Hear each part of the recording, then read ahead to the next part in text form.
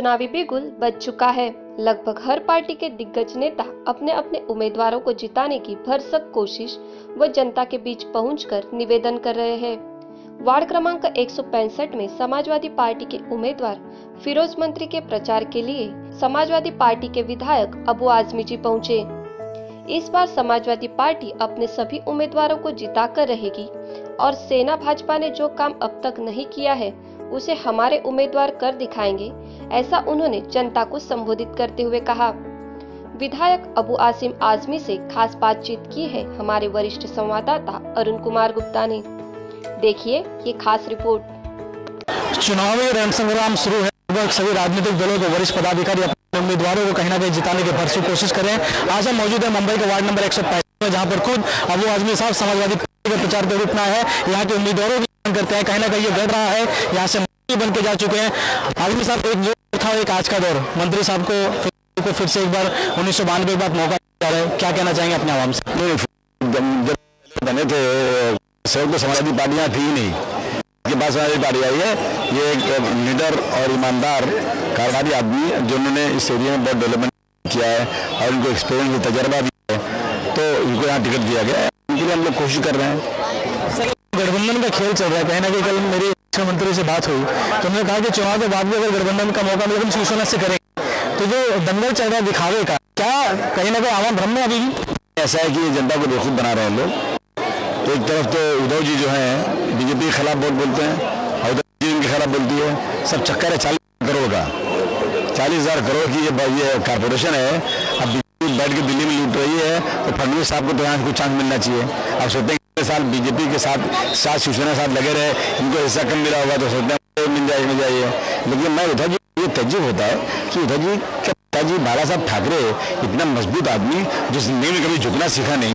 जो बम्बई छोड़कर कहीं गए नहीं आज तक, मैं कई बार कह चुका हूँ कि दिल्ली हो, दिल्ली से प्रधानमंत्री हो, राष्ट्रपति हो, या अमेरिका से आया हो, बड़े बड़े तुरंत लोगों यही अपने घर बुलाया बांद्रा में और सबको हम बिठा के उन्हीं के बेटे इतना झुकते कि बेचारे?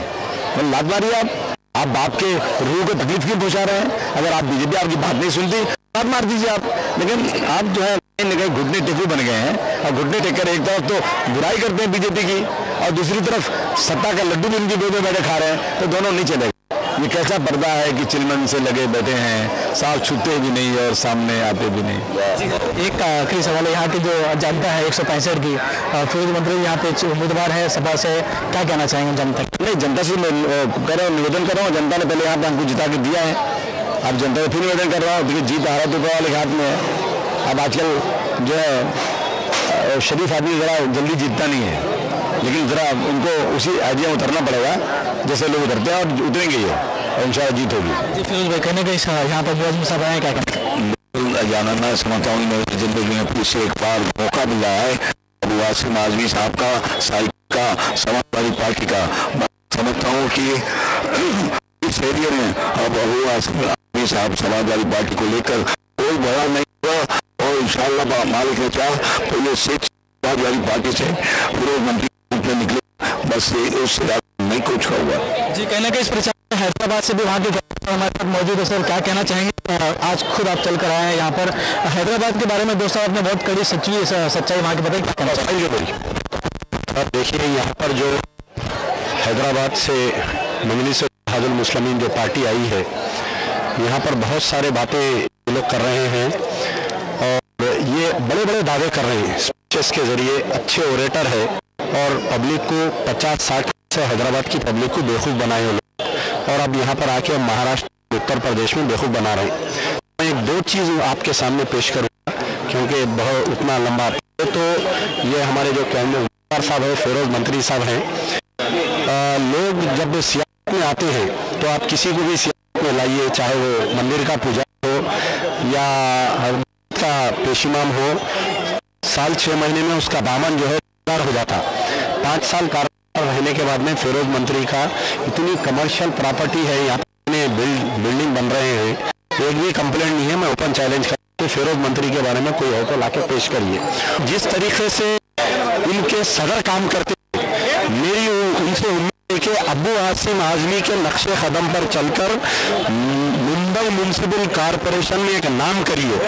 एक रईस शेख जो है 200 कारपोरेटर में मुझे फख्र होता है कि जब भी रईस शेख का कहीं ज़िक्र होता है तो number one municipal corporator in Mumbai municipal corporation तो हो सकता है कि कल के दिन आप हमारे फिरोज मंत्री साहब को भी अगर करेंगे तो एक मिसाल बन के जाइए। मैं ये नहीं बोल रहा हूँ, मैं ये नहीं बोल रहा हूँ कि आप कल दिन हिंदुस्तान के कप्तान बन के रुशखोरी करिए मुसलमानों का नाम मत बदनाम करिए, बल्कि अबू आसिम आजमी जिस तरीके से अपनी गवर्नमेंट को डेवलप किए हैं उसी तरीके से तमाम जितने भी उम्मीदवार है हार और जीत तो ज़िंदगी में लगी हुई है उतार और चढ़ो तो ज़िंदगी में लगी हुई है। अगर कोई उम्मीदवार हारता भी है तो मैं उनसे कहूँगा कि पाँच साल के लिए आप आवाम के दरमियान में रहिए हार और जीत अल्लाह के हाथ है। कहने के हमसे बात जी बिल्कुल कहने का उम्मीदवारों को कहने के प्रोत्साहित करने का पूरा काम काम किया जा रहा है। जीत है। देखते हैं जनता कितनी इस पर तवज्जो दे पाती है और कितना सुनकर देती है। वीडियो जर्नलिस्ट नेम अहमद के साथ अरुण गुप्ता, समय नेशनल कुरला